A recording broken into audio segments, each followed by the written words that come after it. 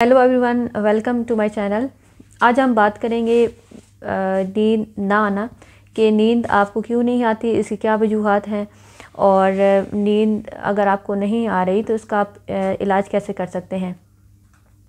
सबसे पहले ये जानते हैं कि नींद हमें क्यों नहीं आती। नींद का जो ताल्लुक है, वो हमारे जहन से है। जब तक हमारा जहन पुरसकून नहीं होगा, हमें टेंशन डिप्रेशन होगी, या कोई जहनी परेशानी होगी, जहनी बीमारी तो ये बहुत सारी वजूहत होती हैं।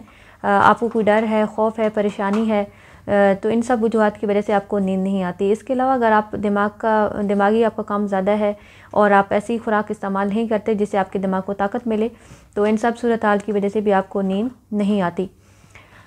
इसके अलावा आपकी जो नींद का जो टाइम पीरियड है, उसको भी आपने ज़रूर ध्यान में रखना है कि कुछ लोग दिन को ज़्यादा टाइम सो लेते हैं, जिसकी वजह से रात को उनको नींद नहीं आती। तो कोशिश करें कि अगर आप आराम कर भी रहे हैं तो सिर्फ़ पंद्रह से बीस मिनट तक ये है कि बस हल्की सी नींद कर लें, या कम से कम थर्टी मिनट तक इसे ज़्यादा ना करें, क्योंकि अगर आप दिन को सो जाएँगे तो फिर आपको रात में जो नींद है, वो नहीं आएगी। इसके अलावा आपकी जो नींद की रूटीन है, उसे भी आपने ज़रूर देखना है कि अगर आप बहुत ज़्यादा रात देर तक जागते हैं और सुबह आप लेट उठ रहे हैं तो वो आपकी नींद का जो ड्यूरेशन है वो डिस्टर्ब होगा, जिसकी वजह से फिर आपको नींद नहीं आएगी तो आपके सोने के टाइम आपके जगने के टाइम आपको मेनटेन करने होंगे।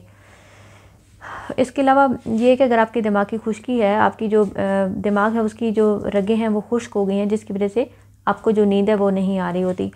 बज़ दफ़ा जिसमानी थकावट की वजह से भी नींद नहीं आती और बहुत सारी जो लोग हैं स्पेशली जो ख़वातीन है, जब उनमें ब्लड की कमी होती है या जो मेल हैं तो खून की कमी की वजह से भी आपको नींद वगैरह नहीं आ रही होती। तो ये मुख्तलिफ़ जो है वजूहत है, जिसकी वजह से आपको नींद नहीं आती। इसके अलावा आपने ये कोशिश करनी है कि कुछ लोगों का जो बिस्तर है वो ठीक नहीं होता तकिया अगर आपका ठीक नहीं है, जिस कमरे में आप आराम कर रहे हैं, वो अगर ठीक नहीं है, उसका इन्वायरमेंट ठीक नहीं है तो ये सब बहुत सारी वजूहत हैं जिसकी वजह से आपको नींद नहीं आती। तो कोशिश करें कि अगर आ, कोई एक्सटर्नल चीज़ें हैं जैसे कि आपका तकिया ठीक नहीं है तो तकिया ठीक रखें। आपका जो सोने का कमरा है वो ठीक होने चाहिए। कुछ लोगों को लाइट में नींद नहीं आती तो कोशिश करें कि जो ज़ीरो लाइट है वो ऑन करके आप जो है वो सो सकते हैं। तो अपने जो बिस्तर है उसका भी आपने ज़रूर ध्यान रखना है कि रिलैक्स हो जिसमें आपको पुरसकून नींद आए। तो ये बहुत सारी रीज़न है जिसकी वजह से आपको नींद नहीं आ रही होती। तो कोशिश करें कि आप अपनी खुराक ठीक रखें, जहन को थोड़ा सुकून लें एक्सरसाइज किया करें। कुछ लोग क्या करते हैं कि करते हैं, सारा टाइम बैठे बैठे गुजार देते हैं। तो कोशिश करें कि थोड़ा चले, फिरें, हरकत करें और आपका जो थोड़ा जिसम थका होगा, आप एक्सरसाइज करेंगे तो आपकी आपकी जो नींद है वो बहुत अच्छी और पुरसकून आएगी। नींद की कमी के हवाले से आज मैं आपके साथ शेयर करूँगी ऑयल के कौन से तेल हैं जिनको आप इस्तेमाल करके आपकी जो नींद की कमी है उसको आप पूरा कर सकते हैं। सबसे पहले हमारे पास है रोगन खशखाश। ये खशखाश जो है इसका ऑयल है और अगर आपको नींद नहीं आ रही तो इसका आप जो है वो अपने सर पे मसाज कर सकते हैं। रात को आप मसाज करें और सुबह आप सर धो लें। इसके अलावा अपनी जो डेली रूटीन है उसमें भी आप इस्तेमाल कर सकते हैं।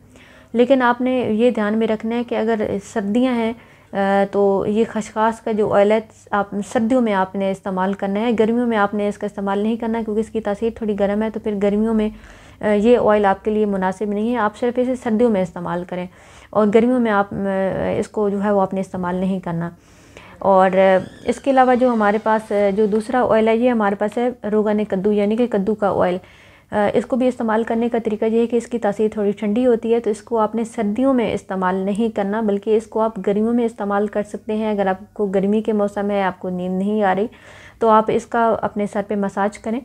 और या अपनी डेली रूटीन में भी आप इस्तेमाल कर सकते हैं, लेकिन आपने सिर्फ़ ये ध्यान में रखना है कि जो खशखाश का जो ऑयल है, वो आपने सर्दियों में इस्तेमाल करना है और जो कद्दू का जो ऑयल है, ये आपने गर्मियों में इस्तेमाल करना है, क्योंकि कद्दू की जो तासीर है, वो थोड़ी ठंडी है और और अगर ऐसा आप सर्दियों में इस्तेमाल करेंगे तो फिर आपको नज़ला ज़ुकाम या ठंड और ठंड की वजह से फिर जो सर दर्द है, वो हो सकता है तो ये आपने थोड़ी सी एहतियात करनी है।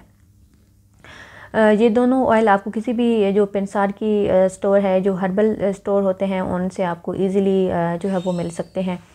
इसके साथ आपने एक और चीज़ करनी है, चाहे सर्दियाँ हो, चाहे गर्मी हो। आपने क्या करना है कि जो सरसों का तेल है, वो लें और आपके जो पाँव हैं, पाँव के जो तलवे हैं, उन पर अच्छी तरह आपने मसाज करना है हल्के हाथों के साथ। अगर सर्दियाँ हैं तो थोड़ा नीम गर्म कर लें सरसों का तेल और अगर गर्मियाँ तो फिर नॉर्मली जो ऑयल है उसे अपने पाँव के जो तलवे हैं उनके साथ अच्छी तरह जो है मसाज कर लें। इसके अलावा बच्चे जो हैं आपके छोटे बहुत ज़्यादा रोते हैं, तंग करते हैं, उनको नींद नहीं आ रही होती तो बच्चों के जो पाँव के तलवे हैं वो अच्छी तरह तर करें, उनकी नाफ में तेल लगाएँ उनके पाँव के तलवों में तेल लगाएँ तो उन्हें भी बहुत अच्छी और पुरस्कून नींद आएगी और तलवों पे तेल लगाने के और भी बहुत ज़्यादा जो है वो फ़ायदे हैं। तो इससे क्या होगा कि आपकी जो दिमाग की जो रगें हैं वो रिलैक्स होंगी आपकी पट्टों का खिंचाव कम होगा। जब आप अपने जो पाँव हैं उनके तलवे पे तेल का मसाज करेंगे तो आपकी नींद भी बहुत अच्छी आपको आएगी। इसके साथ क्या होगा कि आपकी जो थकान है वो भी उतर जाएगी। तो बच्चों को भी आप जो है वो जो तेल का इस्तेमाल है जो पाँव के तलवों पे लगाने का वो भी आप उनको ज़रूर करवाएँ। इस तरह जो बच्चे हैं अगर उनको, कुछ बच्चे नींद नहीं आती, उनको आराम नहीं करते तो इसी तरह, इसी रूटीन के साथ आप उनको, ये जो तेल हैं, ये आप उनको इस्तेमाल करवा सकते हैं।